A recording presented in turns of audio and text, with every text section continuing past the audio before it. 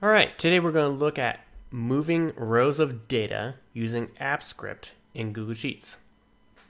So this is a very useful thing to do, whether you have a lead CRM, kind of like what we have shown here, or maybe you have some projects and you want to assign it to different people, or basically any kind of data where you want to split it into different tabs based on a single data point. So for this example, um, status, or it could be a person. And so let me just explain super briefly how I got this Google Sheet structured, and then we'll dive right into the script. So I have four different tabs here, leads, prospects, sales, and lost.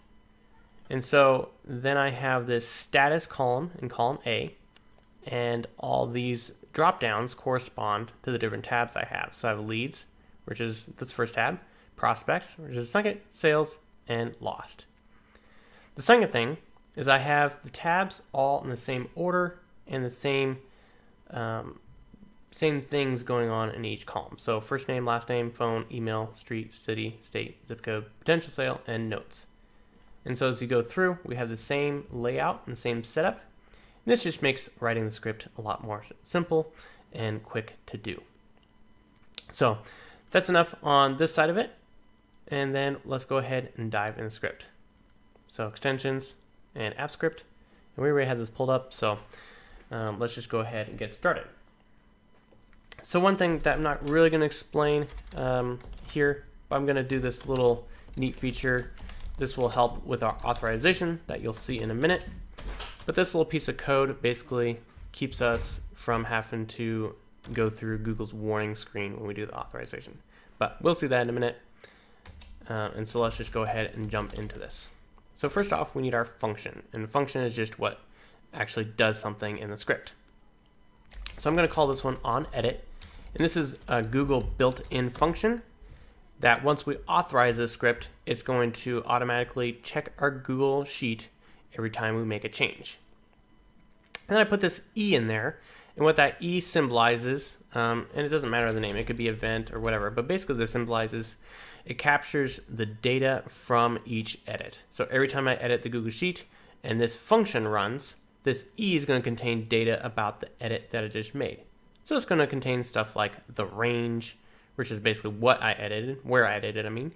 Um, it's going to contain uh, the value, what what I entered or selected or typed in.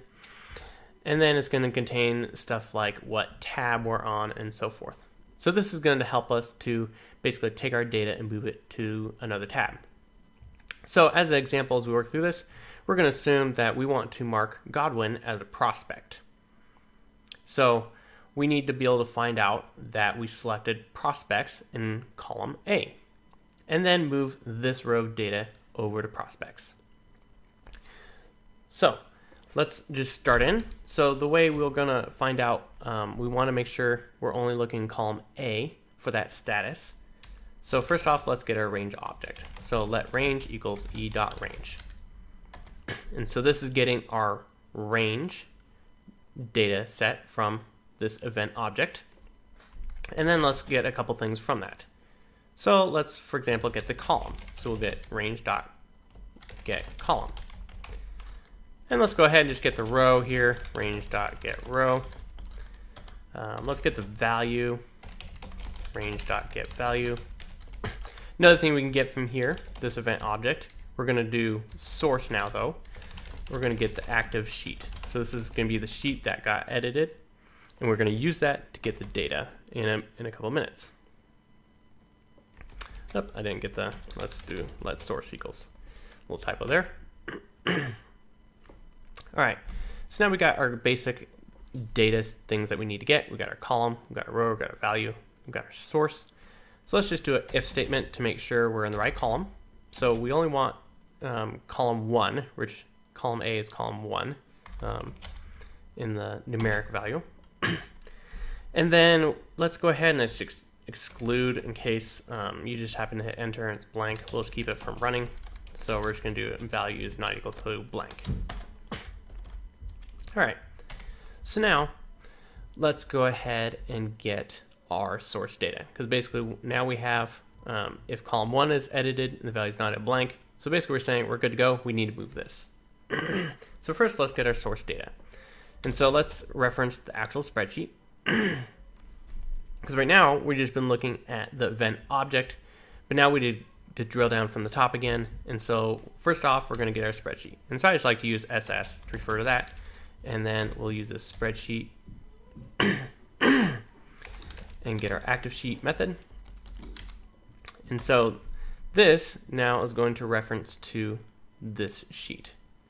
And but we need to iron down one more. We need to get to this leads tab. And so I'm going to iron down. Let's do let sheet equals SS and get sheet by name. And so we have the source tab right here, um, but we just need to get the name on that. So let's just go ahead and use that get name um, method. And this will give us our target sheet, which is leads, or our source sheet rather. Um, and now we can get our target sheet from our value, because that's what our value is going to contain is prospects, which corresponds to our next tab. So we can get let target sheet equals SS. Let me go ahead and do this camel case here. Get sheet by name, and we'll just grab that value. So this is going to equal prospects, and so we'll get our prospects tab there. So finally, let's get our data.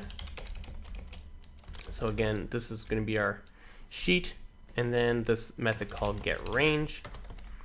And now we can see a little pop-up and gives us a little helper.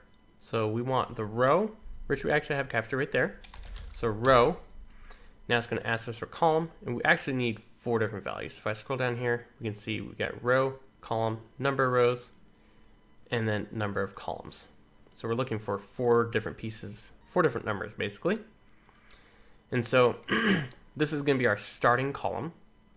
And so we'll just go ahead and copy the status over as well. So we'll just start in column one. We'll just grab the whole thing. And then now we see number of rows, which we only want one row. And then finally, number of columns. So we could count this 1, 2, 3, 4, 5, 6, 7, 8, 9, 10, 11. So we could put 11 in here. But if we want this more resilient, we could do something like sheet.get last column. And then this will automatically work even if we end up adding more columns on here. Maybe we need to add some more um, more info about the person, more info about the sale. And one thing to keep in mind, like we talked about before, is uh, if we want to keep this script simple, we just want to make sure if I add a new column here that I also have it on these as well. All right, so let's go back to here. So now we have our range. We have our row starting in column one, one row, and getting our last column in that sheet.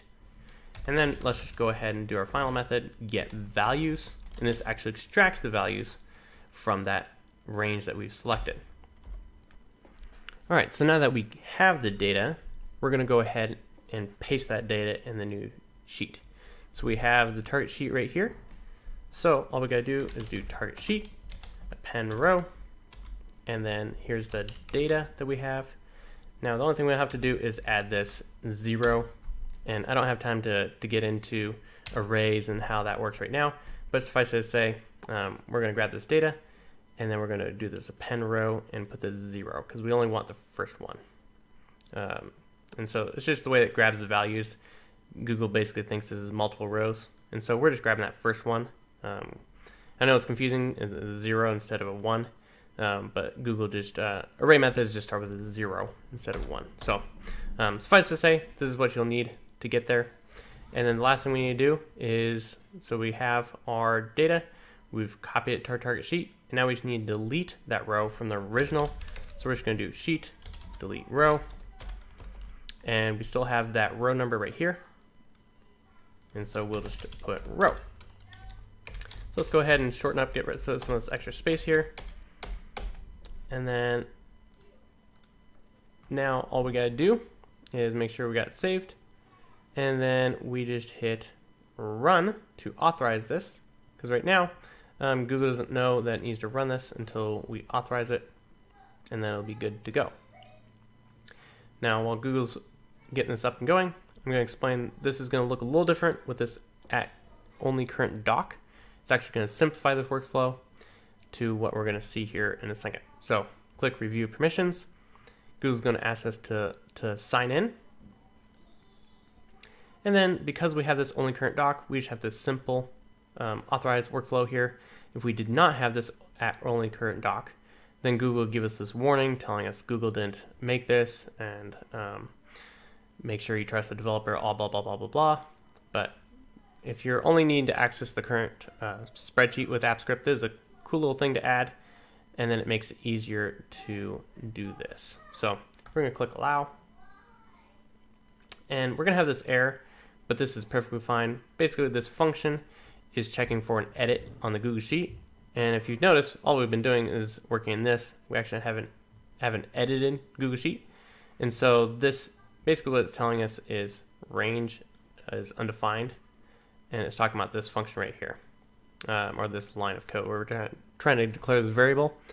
And so it's trying to find this range in E, but E doesn't have anything because we're not editing the Google Sheet at the moment. Um, so first time you run this and you get this message, don't worry about it. Um, you can go ahead and check the Google Sheet instead. So we have everything done here. So let's go back to the Google Sheet and see if everything is working correctly. So this is the one we're talking about doing. And so let's go ahead and just select prospects here and see if it moves over. Sure enough, it's gone. Let's check the next tab and there it is. Now let's say we did add a little data here, maybe the potential sale, um, calling back Friday, and um, then come Friday, let's say um, we got the sale. So now we can just go back here, select sales, and this row gets moved over here. And it preserves all that data. Now what happens if you accidentally click sales and you're like, oh, whoops, this is supposed to go to, to lost. I just come here, click lost, and it moves to lost. Now, maybe down the road, we want to run it back through the, the processor again. So maybe we could send it back to leads if we want. And there we are. It's back at the bottom of that. All right, so that's all it really takes. So you can tell that it doesn't really take a bunch of code to move rows between tabs.